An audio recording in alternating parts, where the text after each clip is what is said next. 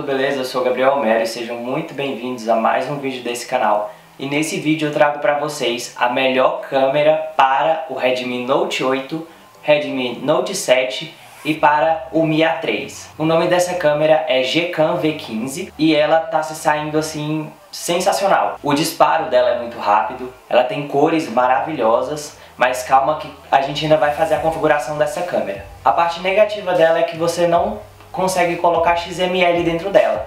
Mas calma que até o final desse vídeo você vai aprender a configurar a sua câmera, vai deixar ela com configurações excelentes. E sabe por quê? Porque quem configurou essa Gcam foi a Keila, com certeza vocês já conhecem a Keila.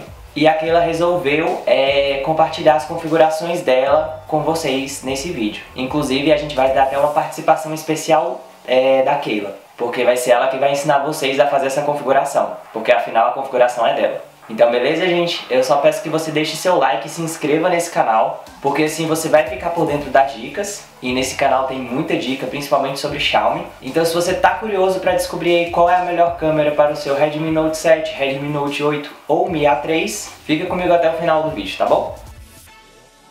Mas antes de vocês fazerem o download dessa câmera que está aqui nos comentários, eu quero explicar para vocês algumas coisas. Essa Gcam, ela é a melhor para o Redmi Note 7 Note 8 e Mi A3, celulares da Xiaomi. Eu não sei se essa é a melhor câmera para algum outro celular. Eu já vi que essa câmera não é tão boa para o Mi 9T, mas eu sei que para esses celulares essa é a melhor câmera, porque eu já testei. Já fiz a utilização dela já fiz vídeo aqui no canal sobre ela. Mas enfim, essa Gcam é sim a melhor. Não sei se vai ser a melhor para outros celulares, mas para esses ela é sim. E outro informativo muito importante. Antes de vocês realizarem o download que está aqui na descrição, eu vou pedir para vocês desinstalarem qualquer outro tipo de Gcam que você tenha aí no seu celular, porque pode dar algum conflito e pode dar algum erro durante a instalação.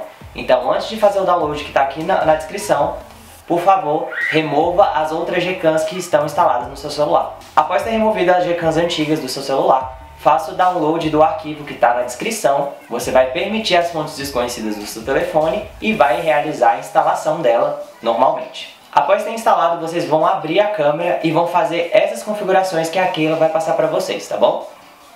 Oi galerinha, hoje eu vou mostrar para vocês como que eu configurei a minha V15 no Note 8. Então venho aqui, né? Aí vou aqui na, no mais, configurações. Aqui em configurações, logo de cara eu só desativei o som mesmo, né?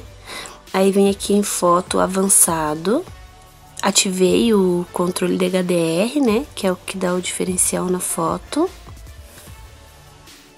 Aí aqui em qualidade do HDR eu deixei em 20, mas pode deixar em 15 que também não dá tanta diferença e o disparo fica mais rápido também, tá? Aí aqui eu mudei exposição também, eu deixei é, um mais 4, né? Que é pra ficar mais clara a foto. A V15 ela é um pouquinho mais escura mesmo, mas não tem granulação. Aí aqui a base, tá? Como ela veio mesmo, padrão, né? Redução de ruído eu não ativo, porque eu acho que fica um efeito meio que encerado no rosto. Aí aqui em arquivos, em arquivo, é, eu fiz assim, deixei nessa FIV4 aqui, que foi o que eu achei melhor pro Note 8, foi o que ficou com um tom mais rosadinho, assim, que é o que é o que eu gosto. Aí, por último, aqui em saturação, que eu deixei a traseira, né, 1.2 Aí, saturação de sombra da traseira 1.3, a frontal 1.2 e saturação de sombra 1.4. Então, praticamente foi isso que eu fiz.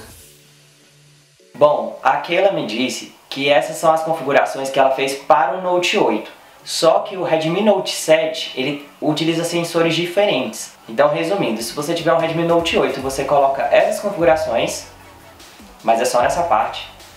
E se você tiver um Redmi Note 7, você coloca essas configurações.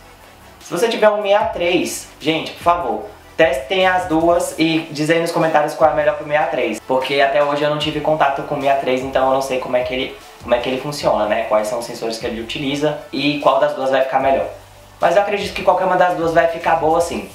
É só porque o Redmi Note 7 utiliza tons mais azuis na foto, as fotos ficam um pouco mais azuladas. E no Redmi Note 8 as fotos ficam com um contraste mais forte, então é, essa, essa diferença na configuração serve para deixar mais balanceado. Mas no final o resultado é o mesmo, tá bom? Pois é, gente, eu espero muito que vocês tenham conseguido configurar a câmera de vocês e que vocês tirem fotos maravilhosas. Não se esqueça de compartilhar o resultado, eu, eu tô louco pra ver se as fotos de vocês ficaram legais com essa V15. Compartilha com seu amigo que tem um Redmi Note 7, um Redmi Note 8 ou um Mi A3 para ele configurar a câmera dele e deixar bem top também. Por favor, deixe seu like e inscrição no canal para ficar atualizado. E é isso, gente. Eu vou ficando por aqui e um mega beijo pra vocês e até a próxima. Tchau, tchau.